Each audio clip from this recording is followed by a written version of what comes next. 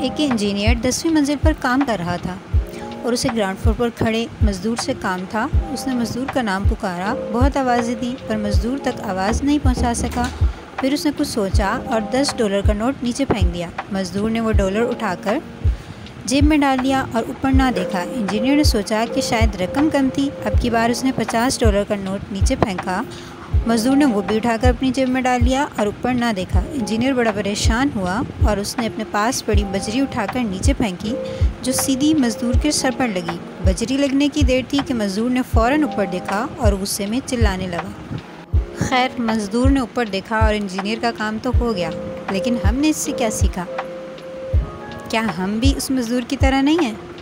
हम भी उस मज़दूर की तरह जब अल्लाह करीम अपनी रहमतों की बारिश कर रहा होता है हम तब बस मज़े में होते हैं। तब शुक्र के अल्फाज हमारे मुँह से नहीं निकलते।